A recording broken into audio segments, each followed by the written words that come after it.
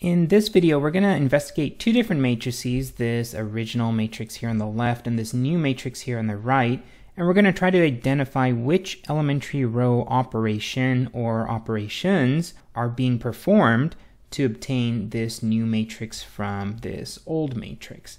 And our three elementary row operations are as follow. Rule 1, which is this one right here, we can take some row and we can multiply it by some non-zero constant c. Our second rule here is we can interchange two rows. And our third rule here is we can take one row, multiply it by a non-zero constant c, and add to it some other row to obtain a new row. So let's actually use these elementary row operations and try to figure out how this new matrix was formed from this old or original matrix. Well, our first rule says we can multiply one non-zero constant times a row. Now, if you look at our matrices, row 1 for both matrices are exactly identical. So yeah, we could have multiplied row 1 times a non-zero constant 1 to obtain the new row 1. But more interestingly, we want to look at row 2. Row 2 in the original matrix is negative 2, 0, and 2. And row 2 in the new matrix is negative 11, negative 15, and negative 7. So in order for rule 1 to apply, we need to find some non-zero constant c that we can multiply this first row here to get this second row here. And this non-zero constant c has to be the same value for all elements in the row. So we need to be able to multiply negative 2, 0, and 2 by this non-zero constant to obtain negative 11, negative 15, and negative 7. And something's telling me rule 1 doesn't apply because although we could find a constant c to multiply negative 2 to get negative 11, we can't use that same constant to multiply 0 to get negative 15. And that's because 0 times any constant is 0, right? 0 times 1 is 0, 0 times 100 is 0, and 0 times negative 3,472 uh, is also 0, right? So there's no way we could multiply 0 times some value c to get negative 15. So rule 1 doesn't apply. How about rule number 2? And rule number 2 says we can take one row and we can interchange it with another row. Well, if we look at the new matrix, this row right here, row 2 in the new matrix, is negative 11, 15, negative 15, and negative 7.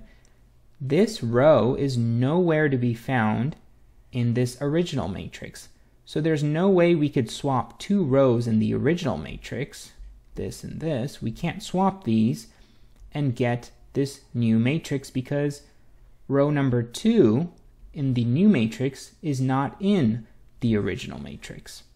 So rule 2 doesn't apply. Well, how about rule number 3? Rule number 3 says that we can take some row, row j, and we can add to it some other row multiplied by some non-zero constant to get a new rj. And in order to clear up some space, and in order to make things a little easier to write out, I'm going to clear the screen. Rule 3 says that we could add a multiple of row 1 to row 2 to produce a new row 2. In other words, we could take row 2, add to it some multiple of row 1 to produce this new row 2, which is right here. And in order for this to work, we need to be able to multiply every element of row 1 by some non-zero constant c in order to produce the values in row 2 of the new matrix. So what I'm saying is that if we look at both of these rows and we look at the first element of row 2 in the original matrix, well that's negative 2.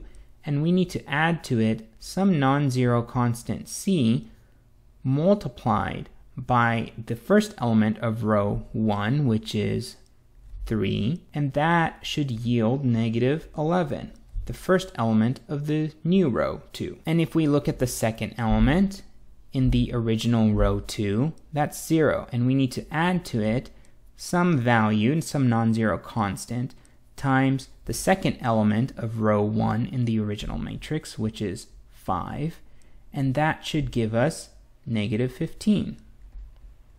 And finally, the third element of row 2 in the original matrix is 2, and we need to add to it some non-zero constant c multiplied with the third element of row 1 in the original matrix, 3, and that should give us negative 7. So these three equations that I just wrote out here is simply an expanded form of this. We need to take every element of row 2 in the original matrix and we need to add to it some non-zero constant c multiplied by every element in the first row of the original matrix to get the second row of the new matrix. So if we look at this first equation here, we could add 2 to both sides, and we'll get c times 3 is equal to negative 9. And if we solve that out, if we divide both sides by 3, we found out c is equal to negative 3. If we look at our second equation, well, 0 plus c times 5 is equal to negative 15. That's c times 5 is equal to negative 15. And if we divide both sides by 5, we find out c is equal to negative 3.